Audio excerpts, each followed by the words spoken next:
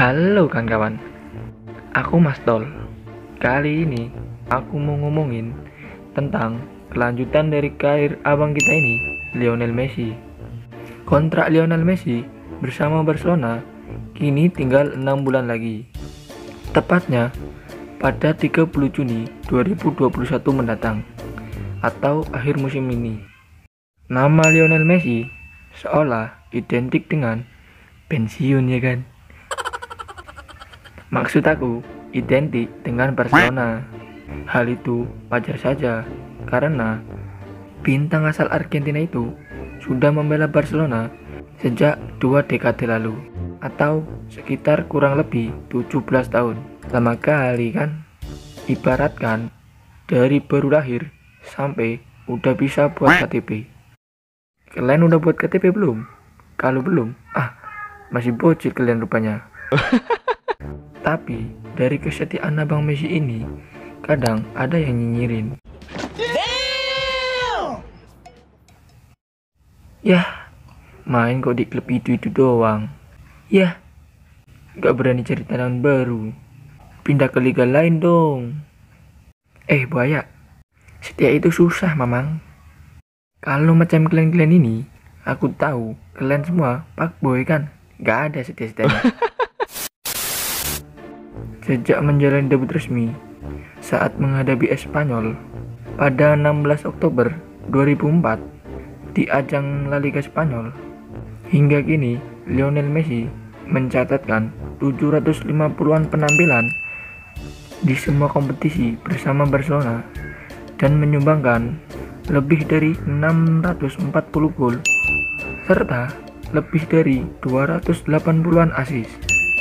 Abang Messi ini juga sudah melewati catatan rekor gol si Opung Pele untuk jumlah gol terbanyak untuk satu klub sepanjang sejarah. Tapi klub yang dibela Opung Pele dulu yaitu Santos tidak terima. Dia bilang jumlah gol terbanyak untuk satu klub masih dipegang oleh Pele. Pele mencetak 1091 gol untuk Santos. 488 gol yang tercipta di lega persahabatan kok diabaikan? Seolah-olah gol-gol itu kurang berharga. Gol dalam laga persahabatan yang diabaikan tercipta ke gawang tim-tim kuat pada masa itu, kata admin Santos. Ia pun turut menghadirkan sejumlah gelar bagi Barcelona, termasuk 10 gelar La Liga dan 4 trofi Liga Champions, serta sejumlah gelar lainnya di tingkat domestik maupun internasional. Meski demikian, perjalanan panjang Messi bersama klub yang dibelanya sejak masih anak-anak itu terancam udahan akhir musim ini. Pasalnya, kontrak Messi akan habis pada Juni 2021 nanti. Hingga kini tidak ada tanda-tanda perpanjangan. Kalau nanti tak memperpanjang kontrak Messi, tak apalah, beli aja si abang kita ini, biar bisa diduetin sama abang Brad. Pada bursa transfer musim panas lalu, Messi sempat mengutarakan permohonannya untuk meninggalkan klub dengan Manchester City menjadi kandidat terkuat. Namun, pada akhirnya ia memutuskan bertahan di Camp Nou hingga akhir musim ini. Kini, dengan kontrak yang hanya tersisa 6 bulan, Lionel Messi pun kini bebas bernegosiasi dengan klub lain untuk pindah secara gratis di bursa transfer musim panas nanti. Pemain sekelas Lionel Messi bisa didapetin gratis woi. Tapi kalau si Lingard yang gratis siapa yang mau? Siapa siapa? Kalian mau? Dalam pemungutan suara tahap kedua yang dilakukan perusahaan Time Consultant kepada 220 anggota Barcelona lebih dari 50% masih mencintai Lionel Messi. Dan menginginkan bintang asal Argentina itu bertahan di Camp Nou pada musim depan. Nggak sekalian aja pemungutan suara buat Messi jadi presiden Barcelona. Pemungutan suara itu merupakan bagian dari jelang pemilihan presiden baru Barcelona pada 24 Januari nanti. Sebanyak 52,2% menginginkan Messi mendapatkan kontrak baru di Barcelona. Dari 52,2% itu, sebanyak 14% di antaranya ingin Messi bertahan di Camp Nou tanpa syarat apa pun. Sedangkan sisanya dengan 37% ingin Lionel Messi bertahan tetapi dengan mengurangi gajinya di Barcelona. Sementara itu, mereka yang ragu-ragu dengan keputusan terkait Messi cukup banyak, dengan mencapai 33,6%. Para pemilih yakin tidak ada yang perlu dipertahankan jika Messi ingin pergi. Sedangkan 13,2% bersikeras tidak perlu memperpanjang kontrak baru untuk striker 33 tahun tersebut demi membangun skuad baru di Barcelona. Jadi, macam mana persepsi? Bertahan atau pindah? Tulis pendapat kalian di komentar. Selain Messi, nasib pelatih Ronald Koeman pada musim 2021-2022 juga ikut disurvei. Sebanyak 34,1% pemilih yakin tanpa ragu pelatih asal Belanda itu akan bertahan di Barcelona. Sedangkan 45% lainnya menilai Kuman akan bertahan jika diinginkan Dewan Klub. Sementara itu, hanya 17,3% yang ingin Ronald Koeman dipecat. Woi, Barcelona, kau buat juga lah survei buat si Bradway. Seberapa mirip dia sama Ronaldo ini? Dalam wawancara belum lama ini, Messi enggan membahas mengenai masa depannya di Barcelona ia mengaku keputusan bertahan atau hengkang dari Barcelona akan diambil pada akhir musim nanti.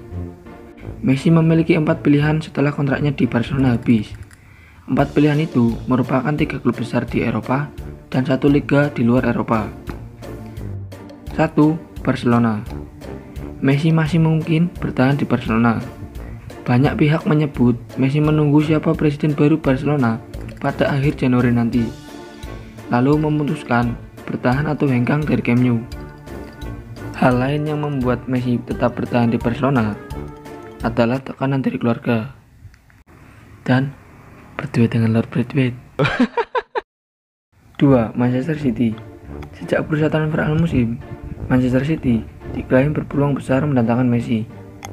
Hal itu karena Manchester City memiliki Pep Guardiola, pelatih yang juga membesarkan nama Messi Manchester City juga termasuk klub kaya yang bisa memenuhi tuntutan gaji Messi.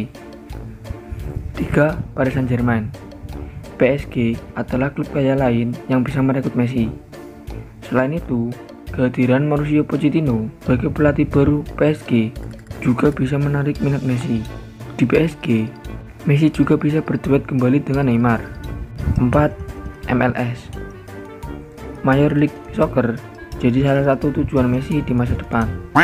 Akan tetapi, belum diketahui apakah pada musim depan atau beberapa musim lagi Messi akan bermain di MLS. Hanya saja, bermain di MLS bisa memengaruhi peluang Messi tampil di Piala Dunia 2022. Peluang terbesar bagi Messi bermain di MLS pada 2023 mendatang. Akan tetapi, laporan itu juga menyebutkan kans Messi memilih di luar empat pilihan itu tetap terbuka.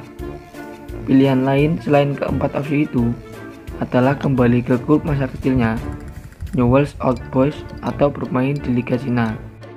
Mau ke mana pun Messi pergi nanti, asalkan jangan ke Liga Indonesia. Soalnya Liga Indonesia ini gak jelas.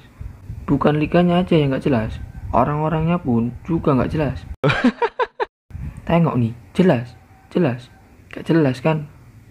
Iya, iya iya iya iya. Kalau Messi pindah dari Barcelona, aku mau prediksi siapa calon rekan setim Messi yang bisa dibentuk menjadi duo dan trio hebat yang akan bermain bersama Messi. Kalau Messi gabung Manchester City, pasti akan terbentuk duo antara Messi sama De Bruyne. Ditambah lagi ada Aguero. Jadilah buat trio DAM bisalah bersaing merebutkan gelar IPL. Tapi belum tentu juga menguasai Inggris, menguasai Manchester ini. Kalau Messi gabung ke Inter Milan, bisalah buat duo Messi, Lukaku, atau Messi Martinez. Bisa juga buat trio MLM. Messi, Lukaku, Martinez. Auto bisa raih seperti itulah ini.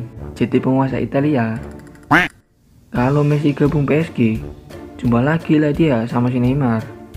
Jadilah duet maut antara Messi sama Neymar. Belum lagi ada Mbappe. Jadi trio MMM lah nanti. Trio maut pula bisa menguasai Eropa lah ini. Kalau Messi gabung Juventus, wup, ini duet yang diharapkan oleh banyak fans bola di seluruh dunia. Duo alien sama robot. Messi sama Ronaldo. Messi bagian dribbling sama asis. Kalau Ronaldo bagian shooting sama ngegolin. Bisa jadi penguasa bumi lah ini. Belum lagi atau Morata. Bisa buat trio MMR. Messi, Morata, Ronaldo. Kalau Morata bagian offset aja lah dia. Kalau Messi gabung Manchester United, duet mautnya pasti bareng siapa lagi kalau bukan Lingard atau menguasai satu galaksi lah ini. Dua ini juga punya bagiannya masing-masing.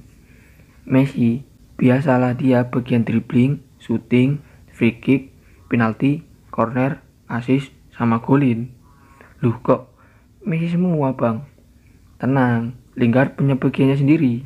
Apa bang? Kalau Lingard bagian jogetnya aja lah biar Messi gak usah selebrasi Lingard aja yang selebrasi tak lah duet maut yang akan terbentuk adalah Messi sama Bruno Fernandes jago penalti semua lah ini banyak-banyakin jatuh di kotak penalti aja lah. Kalau duet Lionel Messi sama Bruno Fernandes terbentuk para striker MU pasti senang kali. Soalnya mereka sama-sama jago buat asis tinggal ditambah Marcus Rashford aja biar jadi trio MRF oke kawan. Segini aja aku ngomongnya. Terima kasih sudah menonton. Selamat kembali menjalani hidup anda Thank you.